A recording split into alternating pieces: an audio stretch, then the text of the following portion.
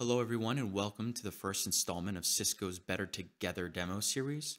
Today, we're going to be focusing on the integration points between Cisco SD-WAN, which is our cloud-delivered WAN overlay architecture, and Cisco Umbrella, which is our cloud-delivered security platform.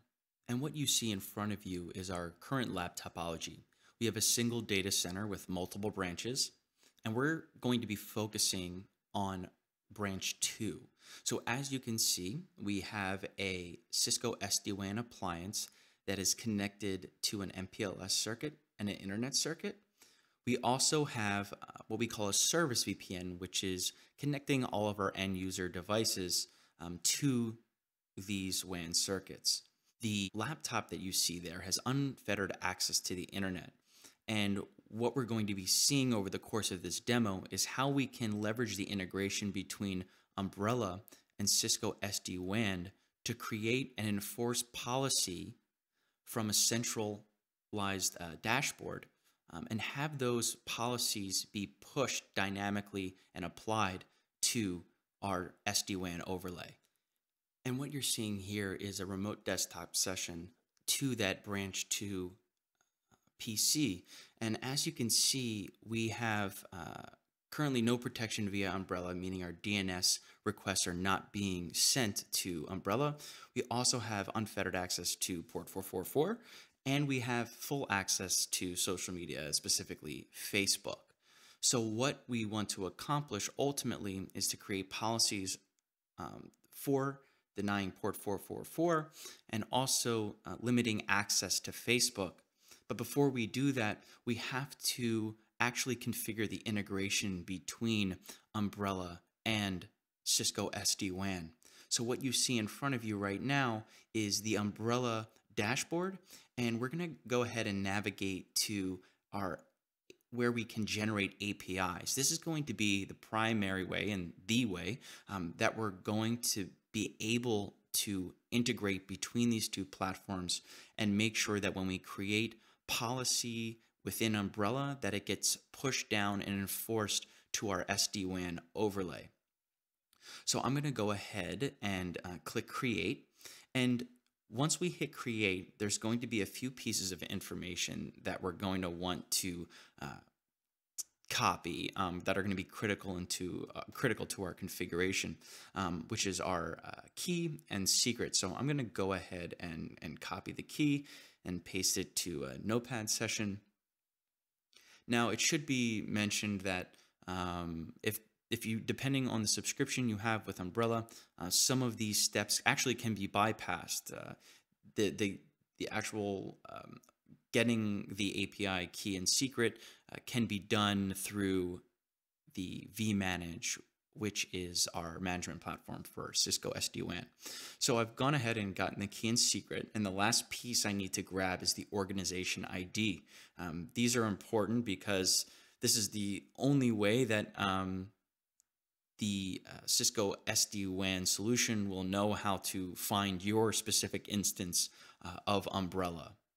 So I'm going to go ahead and copy that number down. And once we have all the information we need uh, around the uh, API, uh, we can hop over to the Cisco vManage. Uh, and this is the management console for Cisco SD-WAN. Uh, this front page here gives you uh, high-level information about the health of the fabric. But what we want to do is actually create a configuration template that will allow us to integrate directly with Umbrella. So since we're operating on a vEdge Cloud device in branch 2, I type in vEdge Cloud, and then we're going to scroll down um, to other templates, and there's a SIG credentials template that we can leverage. And as you can see, we're going to give this uh, you know template a name. We're going to call it SIG credentials, and we can give it a description as well. And, and below, you'll see there's space for us to um, put in our organization ID, our, our key, and secret. So we're going to go ahead and do that. You can also see right below that screen um, a little button that says Get Keys. Uh, this is what I was referring to earlier, where if you have uh, the higher level subscription of Umbrella, um, we can integrate directly and pull those keys from the Umbrella dashboard uh, without you actually having to go into Umbrella and do the copy and pasting, um, which we do have to do in the demo. So after we've inputted those components, um, we can go ahead and hit save. So that feature template is now saved. The next piece we have to configure is uh, the tunnel to Umbrella. So what we want to do is uh, on that connection to the internet we have on our vEdge, uh, we want to make sure that all internet traffic is actually sent to Umbrella. So we're going to go ahead and create another feature template and we're going to go under VPN and th there's an option for secure internet gateway. So we're going to give this template a name as well. And we're going to call it a SIG tunnel. And what we're going to do is build two discrete IPsec tunnels from the branch 2 vEdge appliance to Umbrella. So going to go ahead and specify an interface name. Uh, we're going to first call this uh, IPsec1. Um, as you can see below too, um, we can configure it for a primary connection and a secondary connection, which we are going to do. So my first interface name will be IPsec1 and the source interface will be uh, gig00, uh, which is our interface that is connected directly to our internet circuit. So once we've done that, I can hit add. And like I mentioned, uh, we want high availability. So if we lose uh, connectivity via the first tunnel, uh, we have another tunnel that can service um, our integration point between Umbrella and our WAN overlay. So going to use gig00 again. We're going to call this second IPsec tunnel. You guessed it, IPsec2. And then we're going to make sure that we click uh, the secondary option and hit add. And lastly, uh, we can pick our active and uh, backup. Now, after we've done that, we can hit save. So now we've successfully added a template for our SIG credentials and also building the IPsec tunnels up to the Umbrella Cloud. So the next thing we need to do is apply this configuration to branch 2. So we have a device template, which is how vManage uh, manages the uh, overall configuration of a vEdge device. So we're going to go ahead and under VPN 0, which is our transport uh, VPN, we're going to add a uh, add our um, SIG tunnel config. So as you can see, our, our template popped up there. And then under other templates, uh, there's a SIG credentials uh, option. So we're going to pick our SIG credentials template that we made. And after we've selected those options, we can hit update. And once we hit update, um, it's going to vManager is going to generate the config uh, for that device. And when we hit next, uh, we can actually preview the configuration. Um, this will show you um, the entire configuration of the vEdge device. And if you didn't want, if you were managing this all via CLI, you could still technically copy and paste that CLI into the CLI of, of, of the v, vEdge if you were doing uh, CLI managed uh, devices. But after that, you hit next. Um, and then what it's going to do is push out that configuration.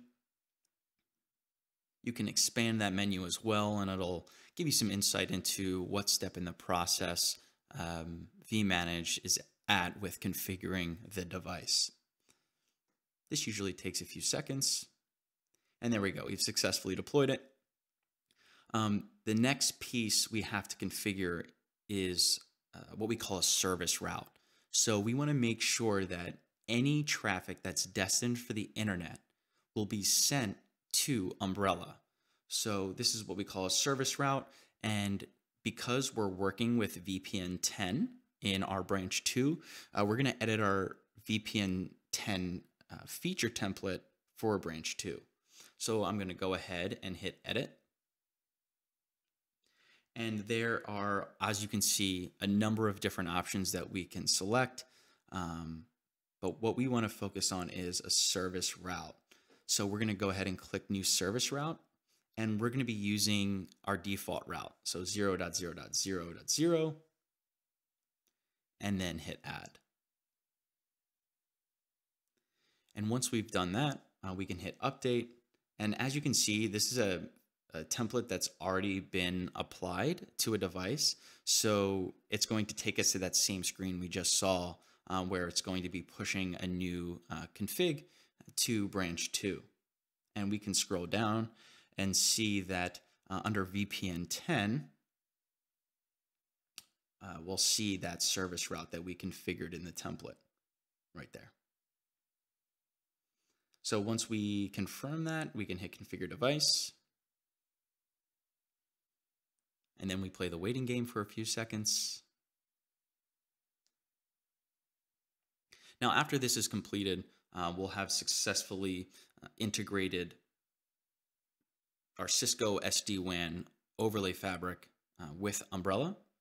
And that's when we can start building the policies we discussed earlier. So remember, uh, we're going to be blocking port 444. Um, we're going to be blocking um, Facebook as well. And we wanted to make sure that all internet traffic from VPN 10 uh, will go through Umbrella. So we're going to go over and just make sure that we have our tunnel stood up. And as you can see, we see site 400, um, and then our system ID 10.4.0.1, and the IPsec tunnel 1 and 2. Um, and as you can see, our first tunnel here is actually terminated to the New York data center. Um, and if we go back and hit um, the second tunnel, uh, we're, we're actually connected to the Ashburn, Virginia umbrella uh, data center. And that's all done dynamically. So now that we have that integration set up, we can start building our policies. So we're going to go to policies uh, and, and firewall policy. Now, obviously, there's a lot that we can do with Umbrella, um, but for what we're trying to accomplish today, we just need to build first a firewall rule. So here we have a default allow any any. Uh, we just hit add, and we're going to call this uh, firewall rule, rule block port 444. And you can match against a lot of different criteria, but for us, uh, we want the destination port. So we're going to go ahead and type in 444. and then we are going to make sure that the rule action is set to block. And then we can optionally also turn on uh, logging. So anytime this rule gets hit, uh, we can visualize that in the Umbrella dashboard. So now we have that rule saved and it is active. So we are good there. And the next piece we want to accomplish is blocking Facebook. So we're going to go ahead and, and click on web policies and we can expand our default web policies. Again, there's a lot of control that we have over uh, what users have access to. But for us, what we need to focus on is our application settings. So we're going to go ahead and hit edit. And um, as you can see, there's a ton of different built-in um, applications uh, we can uh, create policy around, but we want to focus on Facebook. So I'm going to type in Facebook and hit uh, hit uh, block. Obviously, you can choose uh, just full out bl uh, blocking access to Facebook. You can just block posts and shares. and we are then going to hit set and return. So once we have actually saved these policies, that's that's it. Um, those policies are now going to be activated for our branch 2 VPN 10. So if we do go back over to our branch 2 desktop in VPN 10 and we open Google Chrome, we can see that we are now uh, protected by Umbrella. All of our internet traffic, our DNS is getting resolved by Umbrella. And if we hit port, port 444, um, we're going to see that we're not going to have access to that same page we saw uh, in the beginning of our demo, right? We're just going to see that spinning wheel at the, at the top of Chrome. Um, so that means that our policy has been uh, successfully applied. Um, and then uh, if we navigate to navigate to Facebook, uh, you can see that that um, actually has been blocked as well, and we get a umbrella uh, block screen. And with that, we've successfully integrated Cisco SD-WAN with Cisco Umbrella, truly bringing these two solutions together to deliver uh, a more secured architecture for our organization. And with that, I'd like to thank you for watching today's video, and we'll see you on the next demo.